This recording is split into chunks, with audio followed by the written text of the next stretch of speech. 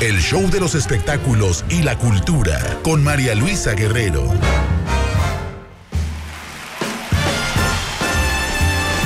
Supercolchones presenta.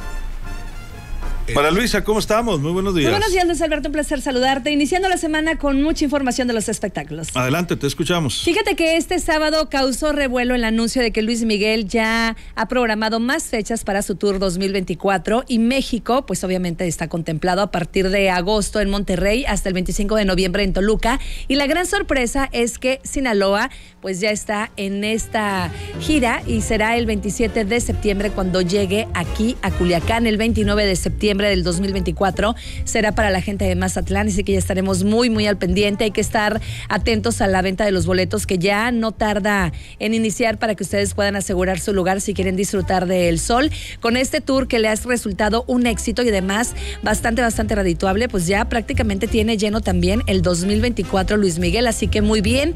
Y aquí en Sinaloa lo podremos disfrutar el próximo mes de septiembre. Este sábado se cumplieron 11 años del fallecimiento de Jenny Rivera, la llamada diva de la, de la banda. Recordemos que ella falleció un domingo 9 de diciembre del 2012 a los 43 años en un accidente aéreo cuando viajaba en un avión privado de Nuevo León a la Ciudad de México. Ella había terminado su concierto en la Arena Monterrey y esa madrugada pues despertamos con esa lamentable noticia de que estaba desaparecido. A las horas se dio a conocer que había fallecido, iba en compañía de su representante de Relaciones Públicas, también su maquillista, su abogado, su peinador y bueno, lamentablemente todos perdieron la vida en este accidente. Los restos de la diva de la banda se encuentran en su ciudad natal en Long Beach, California, en un cementerio llamado All Souls Cemetery y bueno, en una sección privada del panteón que se llama Momas Garden. Ahí hay una placa que indica la presencia de la gran señora y se lee Dolores Jenny Rivera, 1969-2012. A 11 años de su muerte, su hija Jenny, la hija de Jenny Rivera, Chiquis, compartió en sus redes sociales una imágenes donde se ven ellas juntas desde que era pequeñita y bueno, diferentes momentos de su vida. También una interpretación de Paloma Negra que dijo que llegue hasta el cielo recordando a su fallecida madre. Y por su lado también Lupillo Rivera compartió y recordó a su hermana Jenny Rivera que el público la sigue teniendo muy muy presente y sigue viva en el corazón de sus seguidores.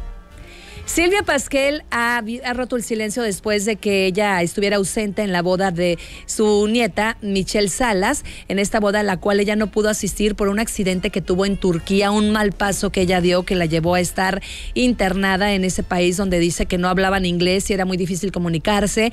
Luego regresa a México y le toca el huracán Otis y bueno, tantas situaciones que estuvo viviendo que la llevaron a tener una tremenda depresión que incluso la hizo pensar en retirarse, en no querer saber nada ya y bueno, pues ahora compartió unas imágenes donde se encuentra en Madrid al lado de su nieta Camila Valero celebrando su cumpleaños número 73 y dijo no lo pude celebrar en octubre, pero ahora celebro la vida y pues muy contenta para continuar. Así que muy bien por doña Silvia Pasquel.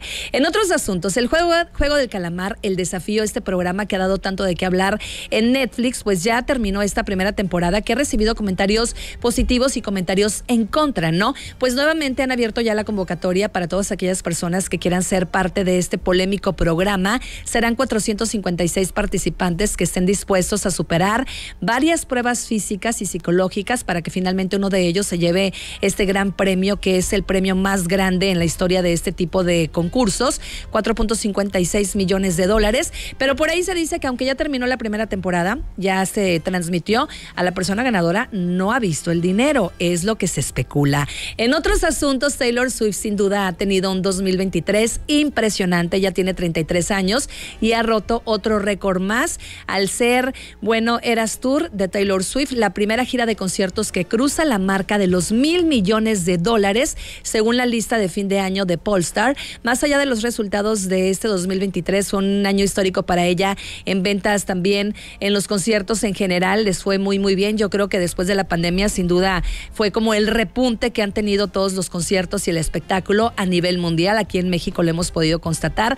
También aquí en Culiacán, en Sinaloa, que hemos tenido grandes, grandes conciertos. Y Lucía Méndez reaparece en sus redes sociales después de que se dijo que había estado internada un tanto delicada por una cuestión de la influenza que se le complicó, que llegó a tener respiración asistida. Pues ahora ella en sus redes sociales compartió un video y esto es algo de lo que dijo.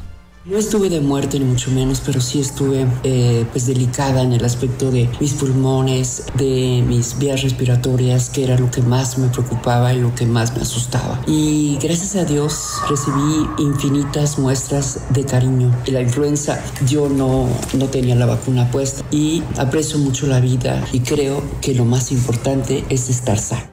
Muy agradecida por todas esas muestras de cariño y sobre todo también valorando lo más importante que dice es compartir con la familia, es la enseñanza que le dejó esta situación y la importancia de vacunarse, porque como ella dice, no tenía la vacuna de la influenza y bueno, pues se le complicó, pero afortunadamente ya está de salida y lista para continuar con muchos proyectos que tiene para el 2024.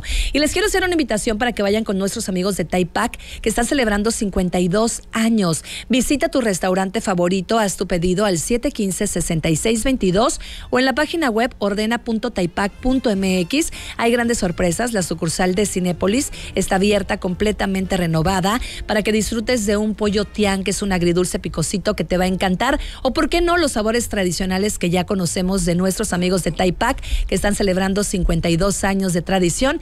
Así que únete a esta celebración. Por hoy es todo en los espectáculos. Que tengan excelente inicio de semana. Regreso contigo, Luis. Pues muchas gracias, María Luisa, muy pendientes. Buenos días. María Luisa Guerrero en el show de los espectáculos y pendientes porque Luis Miguel nos dicen que en las últimas horas eliminó de sus redes sociales la lista de, los conciertos del 24. No han dicho absolutamente nada, simplemente no está la pues lista. fíjate que lo había compartido en sus historias, entonces sí es un tanto extraño que, lo haya, que lo haya eliminado. A lo mejor igual ya pasó el tiempo en el que, se, borra la historia que tiene 24 horas. Pues vamos a estar pendientes. Vamos a checarlo. Ahí, te corroboro mañana. Con los nervios de punta. Gracias, María Luisa. Vamos a una, bueno, vamos a más información.